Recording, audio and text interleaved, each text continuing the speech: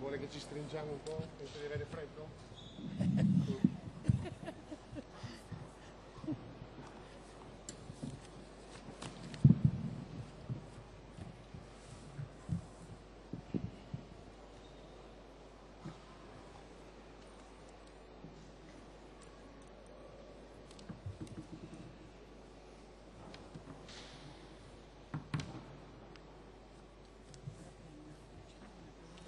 sola. Questa è la- porta.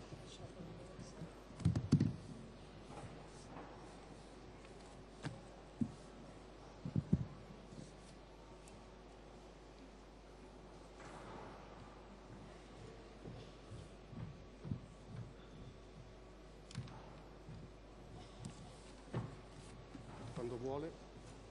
Quando vuole. iniziamo. Buongiorno a tutti e benvenuti a questo incontro del trentesimo meeting per l'amicizia tra i popoli che ha per titolo La verità chiede di essere conosciuta,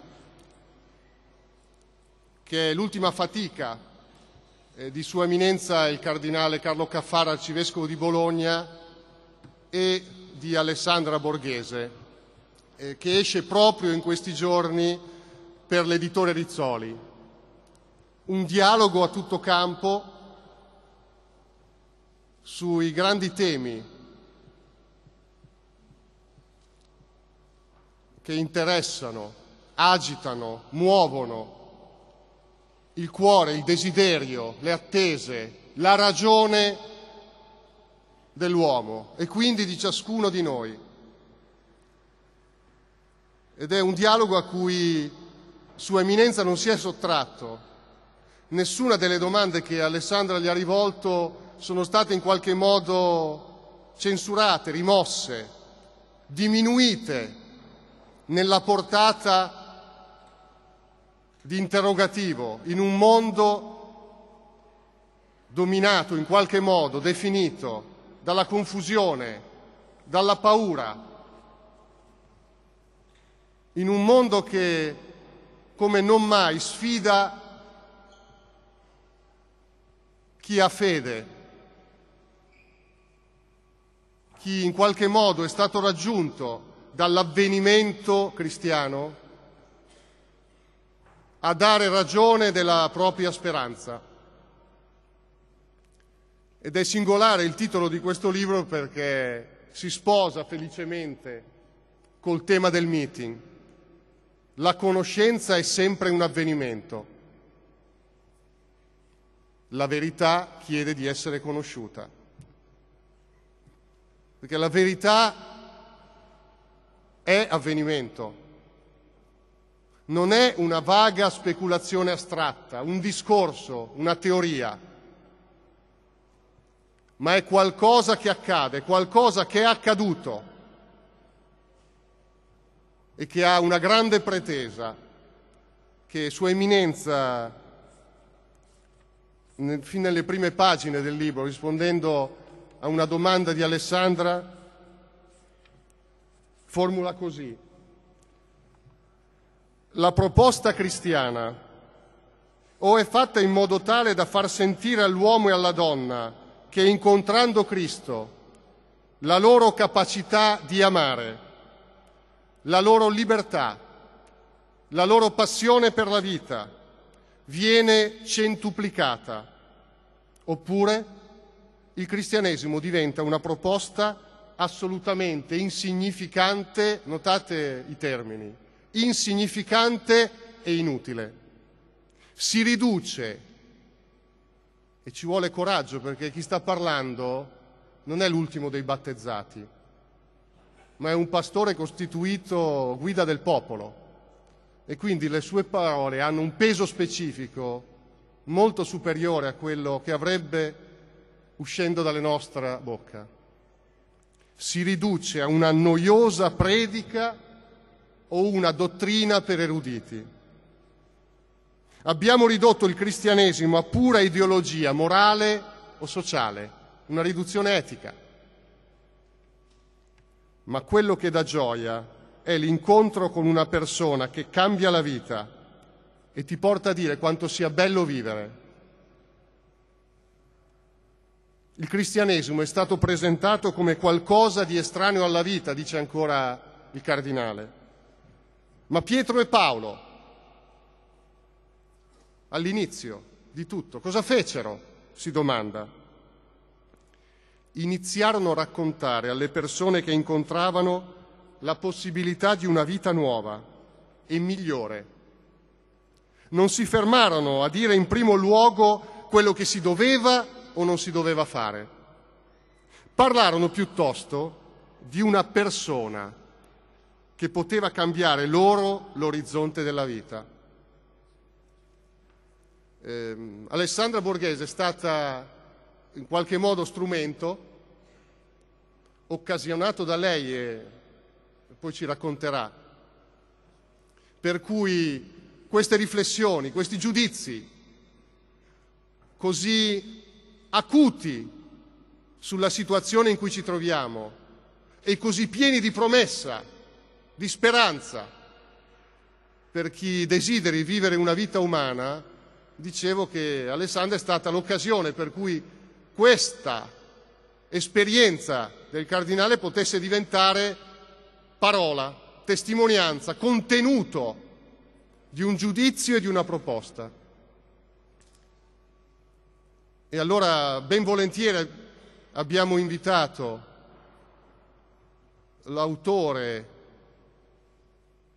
e la coautrice del libro a raccontarci innanzitutto che cosa è stata l'esperienza, usando il titolo del meeting, cos'è stato l'avvenimento del loro incontro che ha originato questo, questo testo. E per questo io crederei subito ad Alessandra di introdurci alle parole di Sua Eminenza raccontando che avvenimento, che esperienza è stato per lei costruire questo libro e come ne è uscita. Prego. Allora, eh, grazie. Eh, buongiorno a tutti. Io devo ringraziare soprattutto Sua Eminenza, il Cardinale Carlo Caffarra, per essere qui oggi. È una sua iniziativa e lo ringrazio immensamente di avermi portato con lui al meeting di Rimini. Grazie Eminenza.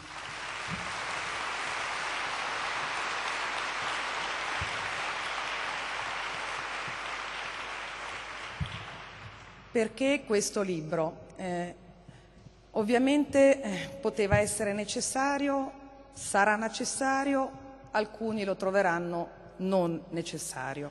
Chi si espone è sempre alla berlinga del giudizio del prossimo. Io ho cercato il cardinale Caffarra, volevo fare questo libro esclusivamente con lui, non cercavo un nome importante della Chiesa di oggi da mettere in copertina, cercavo un uomo di Chiesa pronto coraggioso ad assumere posizioni anche scomode, posizioni che il political correctness non vuole ascoltare. Perché? Non per provocare, non per creare ulteriore confusione, ma per cercare di eh, analizzare, di comprendere di più, di mettersi in ascolto, di capire che cos'è la proposta cristiana e di riproporla ancora una volta, siamo tutti chiamati a riproporla in maniera semplice. Il grande sforzo è stato obbligare Sua Eminenza a scendere a dei piani eh, bassi, dove io sono da credente, ad usare un linguaggio semplicissimo per arrivare a raggiungere i cuori di più persone possibili. Certamente studiare, essere eruditi, l'intelletto, la teologia, la filosofia sono tutte arti fondamentali per la cultura di una persona, ma quello che poi muove è altro, è la testimonianza, è la vita, è il vissuto, è quello che è vero. Quindi la mia esperienza con il cardinale Caffarra è stata un'esperienza simpaticissima, se posso definirla, perché Sua Eminenza è un uomo alla mano, perché Sua Eminenza è un uomo vero, perché Sua Eminenza è qualcuno che quando dice qualcosa non se lo rimangia. Questo nel mondo in cui ci troviamo per me è un fatto eh, degno di nota, perché troppo spesso qualcuno dice qualcosa e poi si preoccupa, correggiamola, mettiamola in quest'altro modo, potrebbe essere strumentalizzata.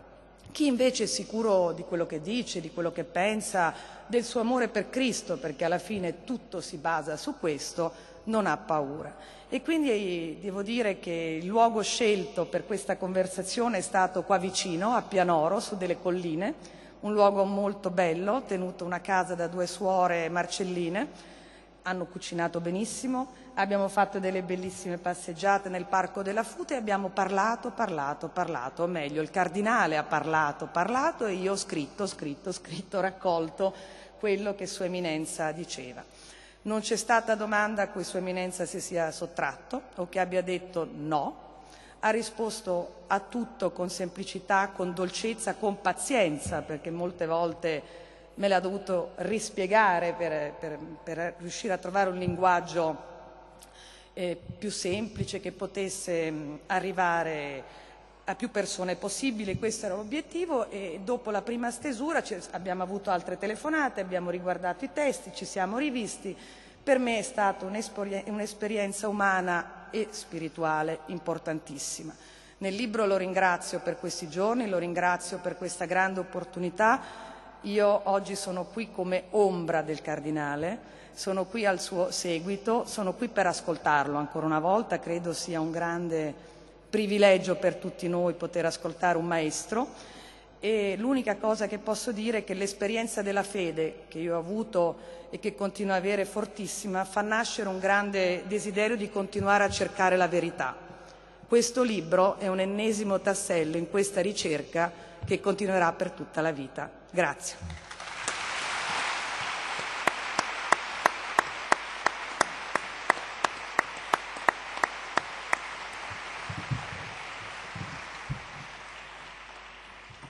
L'esperienza della fede mette l'entusiasmo, la passione per la ricerca della verità, cioè per ciò che risponde adeguatamente al desiderio, al bisogno del cuore.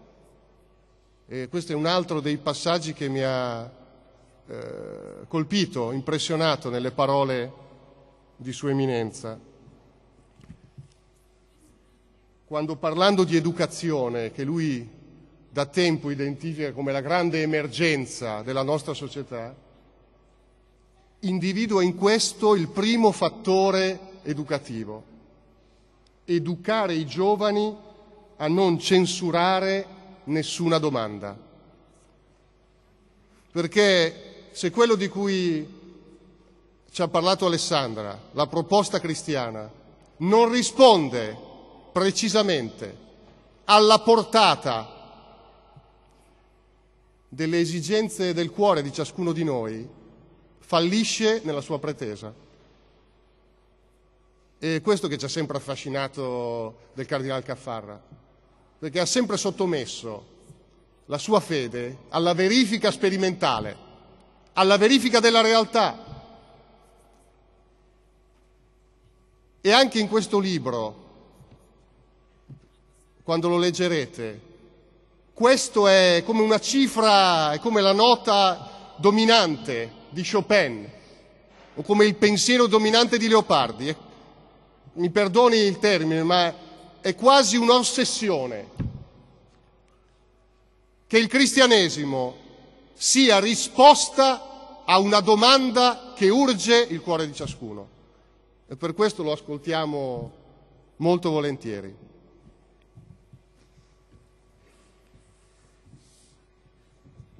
Se non sapessi di trovarmi in mezzo degli amici, mi sentirei davvero molto imbarazzato, ma so, vero, eh, mi, le, mi, lega a Savorana una amicizia ormai che dura da qualche decennio, se non sbaglio, vero? Mi avvicino alla pensione, quindi si può dire. e, e quindi... Eh, qualche riflessione così che aiuti coloro che lo vorranno leggere questo libro, perché questo è un libro un po' particolare.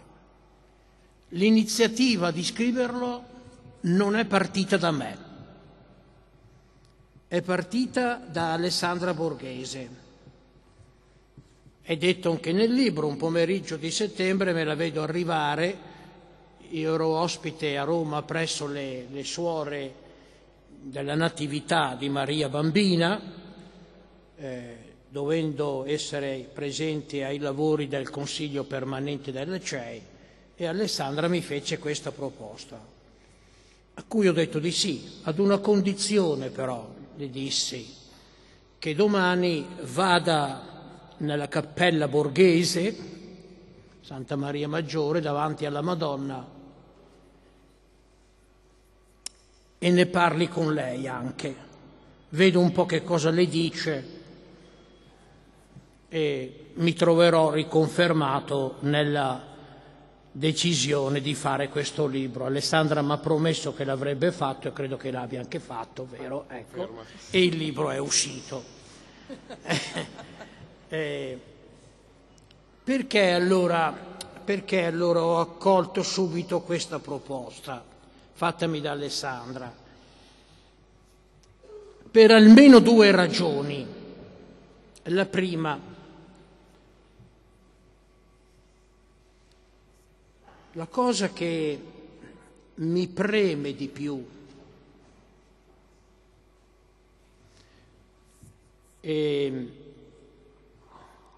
il fatto che quando sono diventato prete ho contratto un debito molto forte con ogni persona umana. E il debito si chiama Gesù Cristo.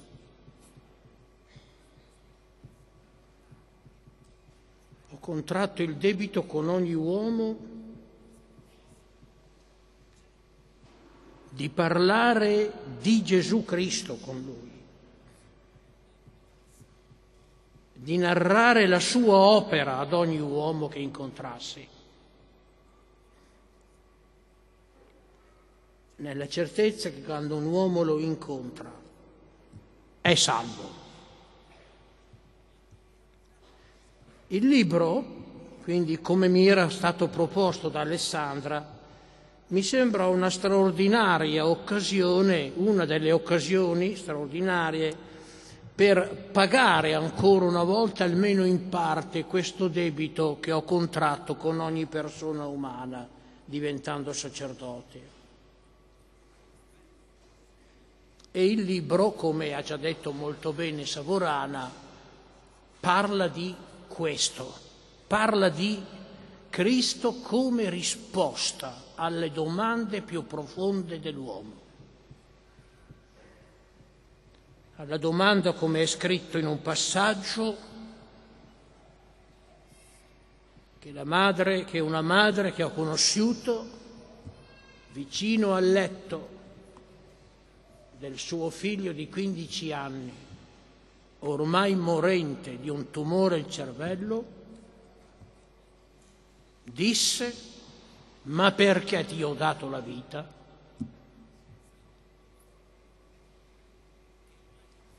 Il figlio che rispose, mamma cosa dici?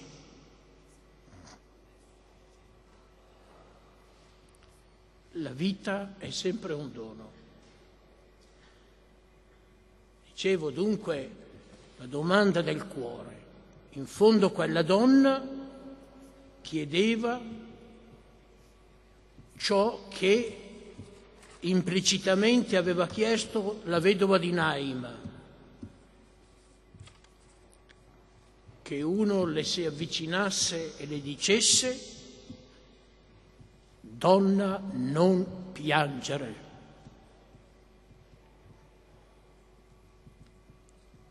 Questo è il grande tema del libro.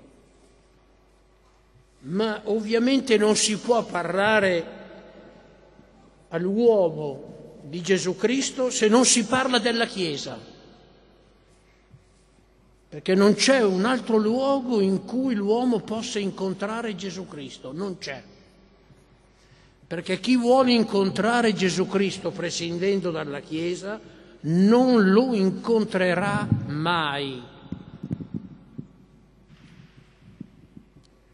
ma incontrerà l'idea che lui si è fatto di Gesù Cristo. Il libro come mi era stato proposto da Alessandra, poteva essere l'occasione quindi per parlare della sposa di Cristo.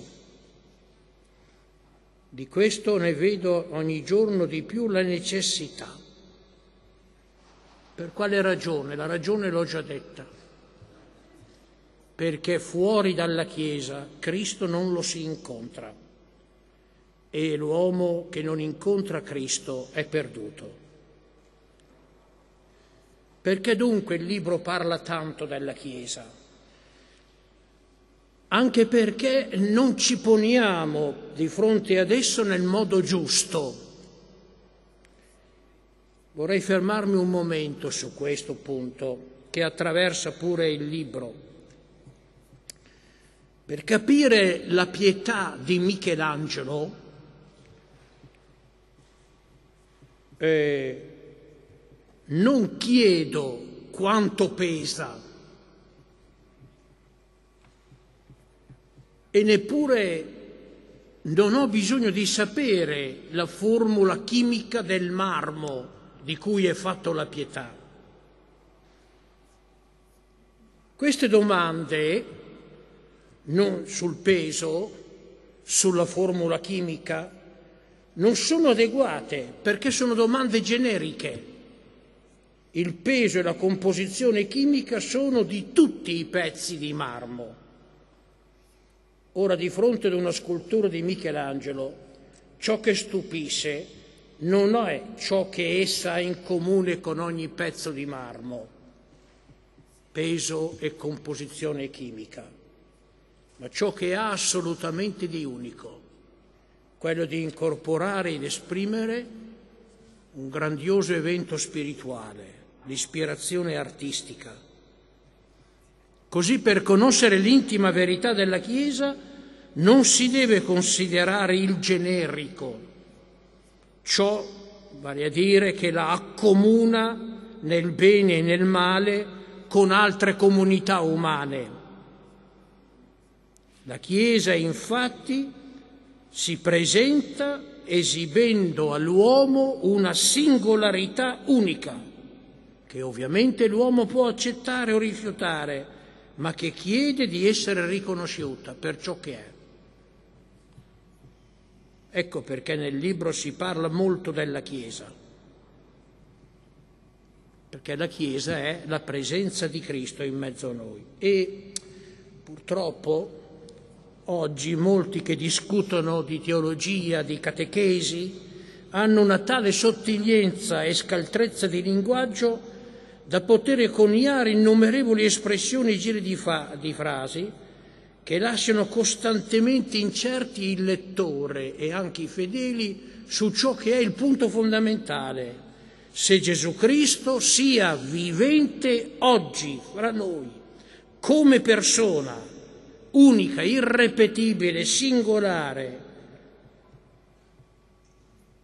e quindi se posso incontrarlo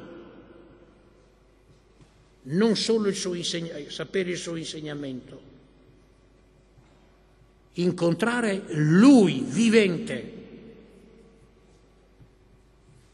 Il secondo grande tema è del libro.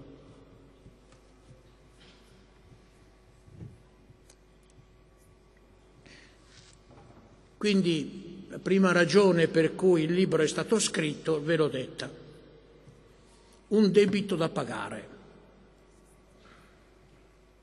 parlare di Cristo e quindi parlare della Chiesa. Perché nessuno pensi che quando parliamo di Cristo noi parliamo di un morto. Nel libro è narrato un fatto molto singolare, molto, molto bello. Durante una visita pastorale, durante il catechismo che faccio sempre nelle visite pastorali ai bambini, un bambino si alzò e mi disse, ma senti cardinale, ma come faccio a essere amico con uno che è morto? Intendeva dire Gesù Cristo.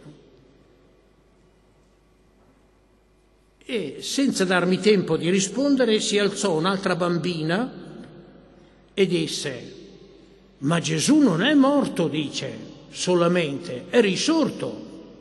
Dice, ed è qui, in mezzo a noi. E là nel tabernacolo eravamo in chiesa.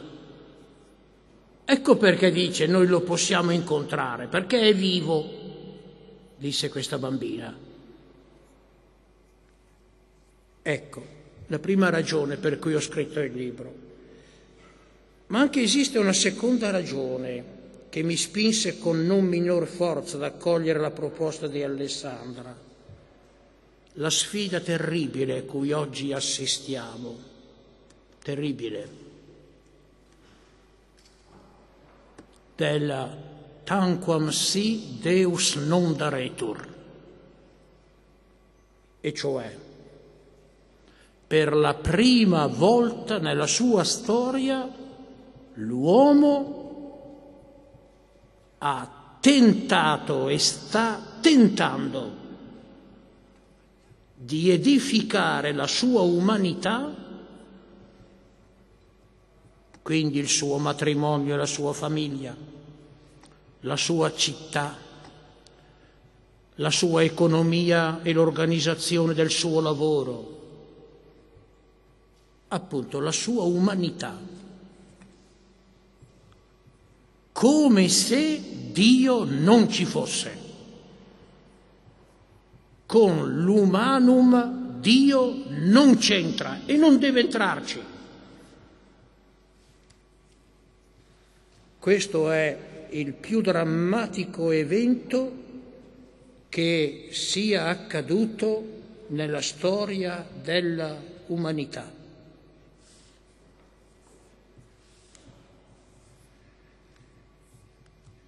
Questo fatto nasce, se non vado errato, dalla decisione, dalla decisione che l'uomo ha preso di non demandare la propria salvezza a nessun'altra all'infuori che, che a se stesso. Kierkegaard chiamava questa decisione la disperazione per ostinazione. Una sorta di disperazione, come a dire io devo salvare me stesso. A me è affidata la salvezza di me stesso e a nessun altro che all'infuori di me. Questo non era mai accaduto nella storia dell'umanità. Nel libro dico che questo fatto mi ha sempre eh, mi ha sempre accompagnato, ve ne leggo alcune righe.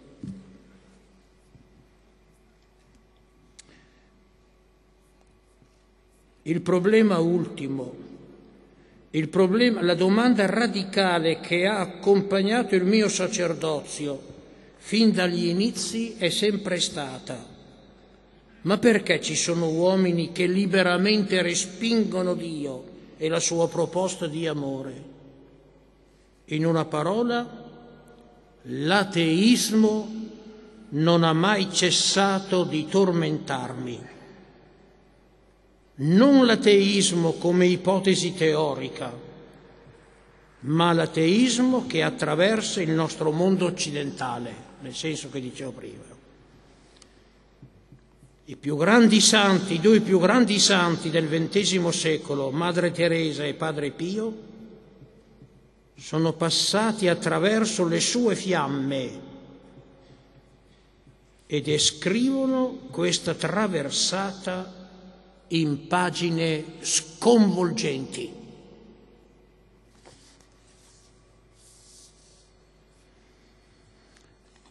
E con questo tema, trattando di questo tema, siamo entrati, siamo entrati dentro proprio al nodo più problematico della condizione dell'uomo, dell'uomo di oggi. Quindi il libro, ecco, è attraversato dal grande tema della presenza di Cristo in mezzo a noi come risposta adeguata alle domande del cuore dell'uomo la presenza di Cristo che è la Chiesa e, ecco, l'altro grande tema che attraversa il libro, questa condizione drammatica. Prima parlavo, prima dicevo, questa condizione di disperazione in cui versa l'uomo di oggi. E questo, parlando di questa condizione, inevitabilmente il libro non poteva non parlare dei grandi temi del vissuto umano. Tema dell'educazione è già stato detto da Savorana, il tema della sessualità e del, e del matrimonio, il tema dell'arte e così via. Ma se vorrete leggere il libro, vedrete che c'è una cosa un po' singolare, che il tema di cui materialmente il libro tratta più frequentemente è il tema della liturgia. Il tema della liturgia. Come mai? Cosa c'entra la liturgia con tutto quello che abbiamo detto fino adesso? Recentemente il professore Esposito, eh, nel sito Il Sussidiario, ha richiamato l'attenzione su un testo di Virginia Woolf, che anche a me ha fatto molto riflettere.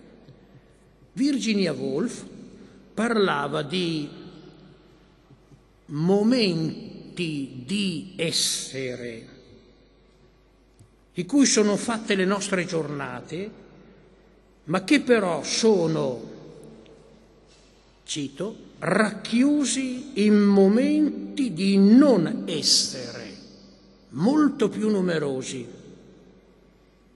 come se il bene della realtà fosse avvolto in una sorta di ovatta, senza contorni, cioè dalla insensatezza e dalla mancanza di soddisfazione. E la scrittrice continua dicendo che è solo per una scossa violenta, cioè grazie a dei momenti eccezionali, che può aprirsi uno squarcio in quell'ovatta e le cose farsi trasparenti, cioè diventare reali.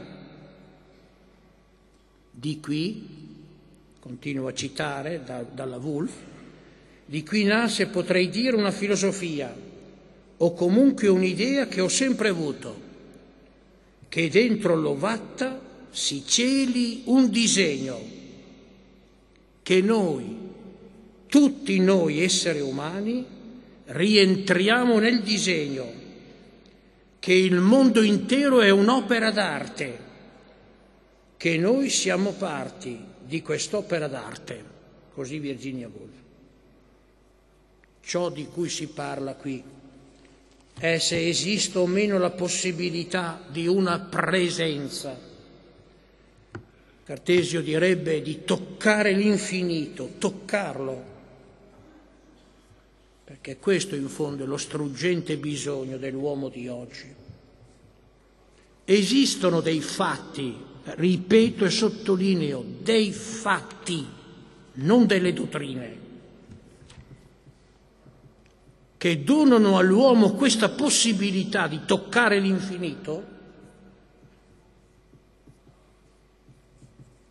nel libro scrivo che a me è stato data questa possibilità che non cessava di stupirmi ogni volta che incontravo Giovanni Paolo II.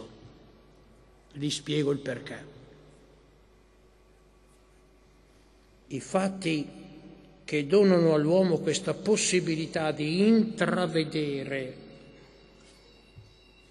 dentro all'ovatta, direbbe la Wolf, una presenza, sono i santi, i fatti che rendono possibile di intravedere questa presenza sono i più grandi momenti della vita, consentitemi eh, se riesco a trovarlo, di leggere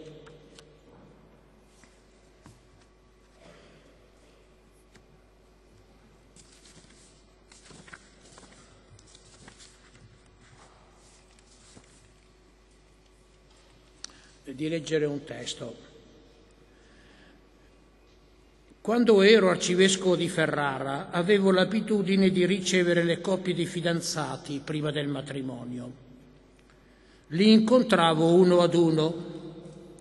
Lei sa, dico ad Alessandra, quale era la domanda ricorrente dopo un primo approccio di convenevoli? No, dice lei, mi dica quale era. Continuo.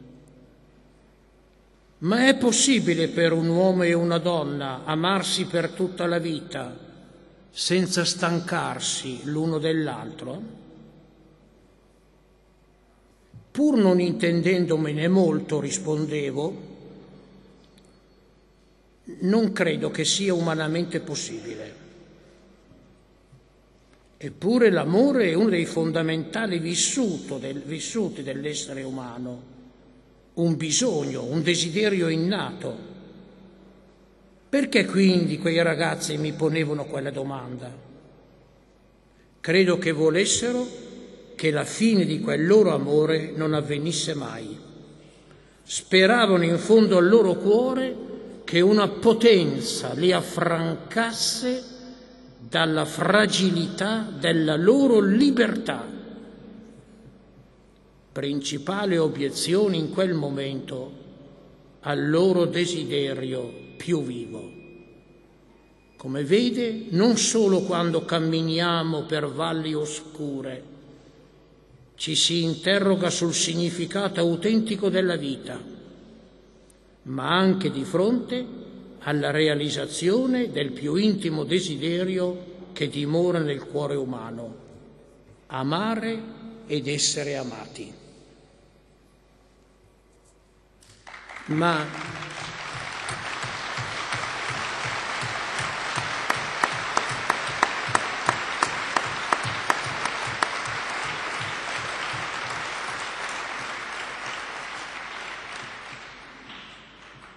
accidente, brutto segno. Quando uno non è più capace di controllare le proprie emozioni vuol dire che sei vecchio.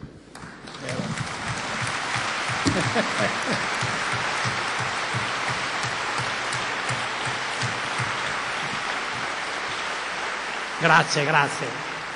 Oppure che ha raggiunto la maturità del cuore, perché eh, io ho vissuto l'esperienza della commozione che Don Giussani a 80 anni provava per la realtà e per la figura di Cristo, che non aveva nulla di sentimentale, ma era come un fiorire dal cuore di una pienezza di umanità.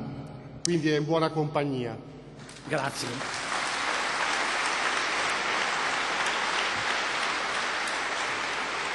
Allora, e concludo ormai,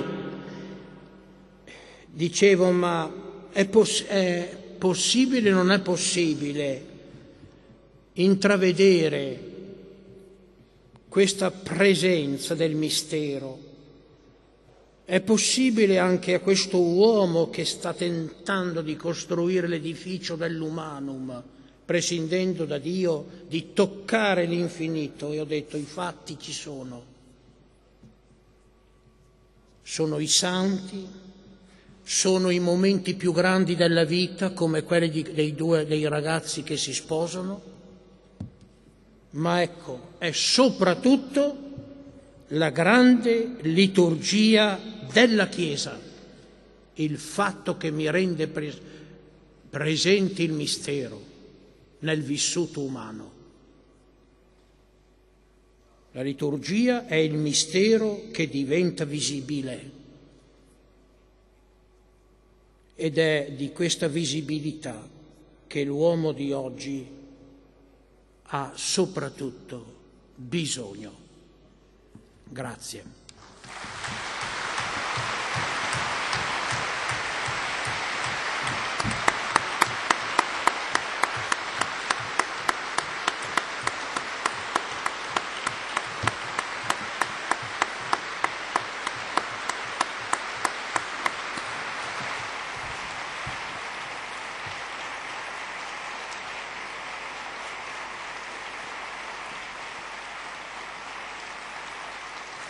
Io non vorrei perdere l'occasione di avere qui Sua Eminenza e Alessandro mi perdonerà, però è troppo ghiotta l'occasione per fargli commentare il titolo del meeting di quest'anno su cui credo che abbia, ma già il nesso lo abbiamo sentito nella testimonianza che ci ha offerto, ma mi piacerebbe sentire una sua reazione alle parole che definiscono il tema che abbiamo scelto per questo meeting, la conoscenza e l'avvenimento.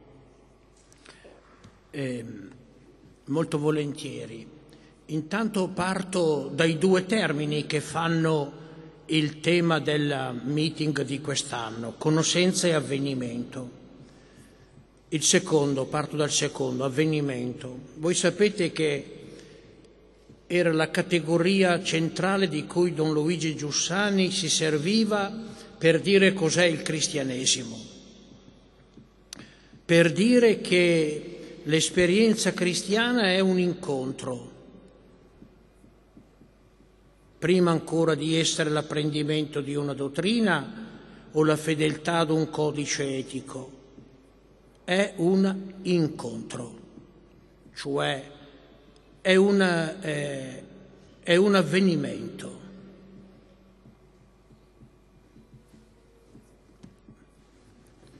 Nel libro io dico che, uno dei più gra- che io reputo uno dei più grandi scrittori del secolo scorso sia Giovannino Guareschi.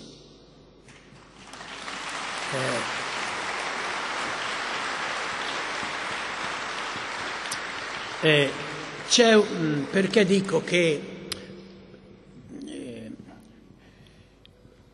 prende una piccola, un piccolo segmento, appunto il mondo piccolo, non lo chiama, di umanità e lo fa assurgere a narrazione completa del, del vissuto del umano. E questa è un'operazione che riesce solo ai grandi artisti. Eh, se non vado errato, prima di lui è riuscita questa operazione solo a Manzoni. Siamo a quei livelli per me. Comunque, dunque, c'è un racconto bellissimo in Mondo Piccolo che secondo me spiega proprio bene il, la conoscenza è un avvenimento. Arriva nel paese un pittore, si mette, mette il cavalletto sulla strada e comincia a dipingere un vecchio fienile cadente. Passa Peppone, si ferma e guarda attentamente il lavoro che sta facendo. Dopo aver guardato attentamente, conclude, ma guarda, era una vita che vedevo quel fienile, non mi ero mai accorto che fosse così bello. La conoscenza è un avvenimento.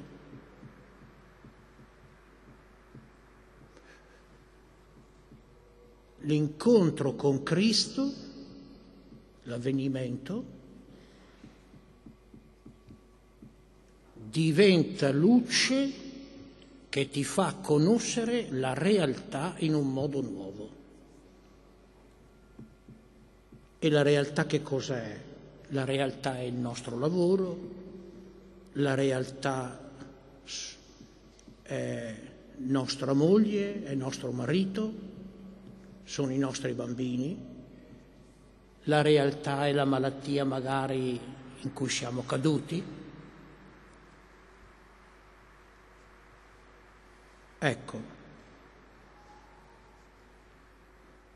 avviene l'avvenimento, avviene qualcosa che ti fa conoscere, che ti fa vedere la realtà.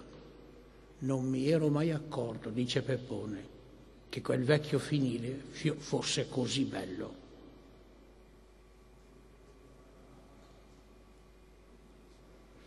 Quando questo non accadesse, lo dico tante volte nel libro fino alla noia, inevitabilmente la proposta cristiana diventa una predica non noiosa, ma noiosissima,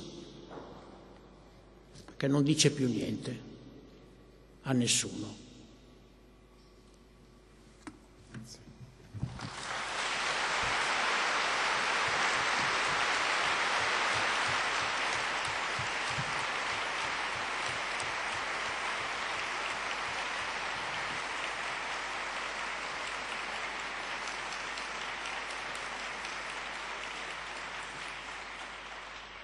Don Giussani dice che l'esperienza non è un semplice provare, non è un semplice susseguirsi di impatti della realtà su di noi, ma dice lui precisamente è vivere ciò che mi fa crescere.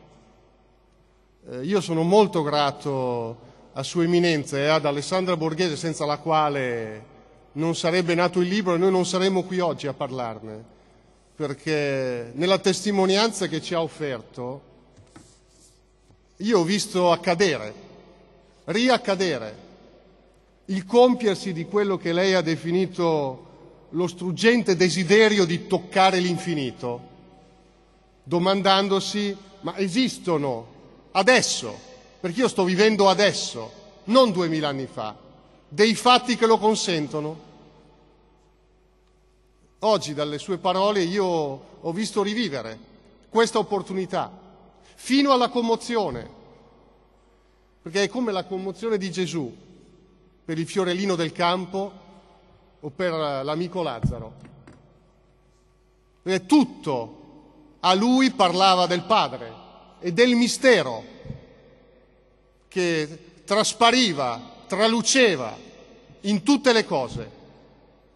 E io la ringrazio tantissimo perché lei oggi ci ha dato uno strumento, un'arma ulteriore per poter rispondere con ragione, con consapevolezza al grande interrogativo che Dostoevsky si, si poneva all'inizio dell'epoca moderna contemporanea, ma può un uomo colto del nostro tempo, può un occidentale, può ciascuno di noi credere alla divinità di Cristo?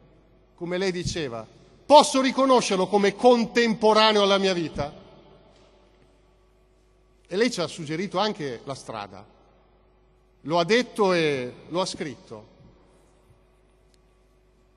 Il metodo della proposta cristiana è generato dal suo contenuto.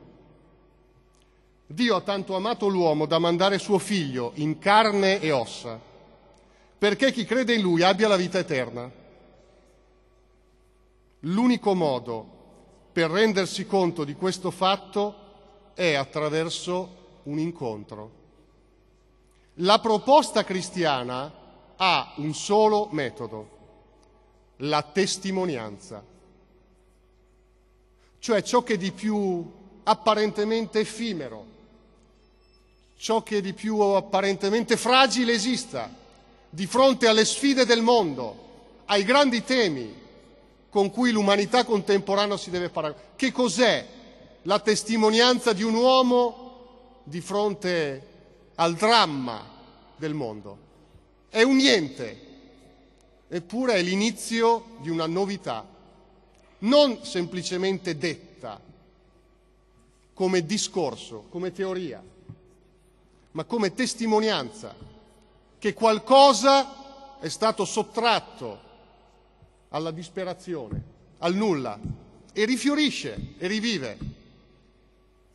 E per questo le siamo molto grati e credo che tanti siano desiderosi e incuriositi dalla lettura del dialogo che avete avuto, perché noi abbiamo bisogno di testimoni così, come il meeting cerca, come può, di essere un grande spazio per questa reciproca testimonianza, perché noi abbiamo bisogno di vedere oggi la possibilità che riaccada quello che duemila anni fa era un giovane uomo che attraversava le strade polverose della Palestina.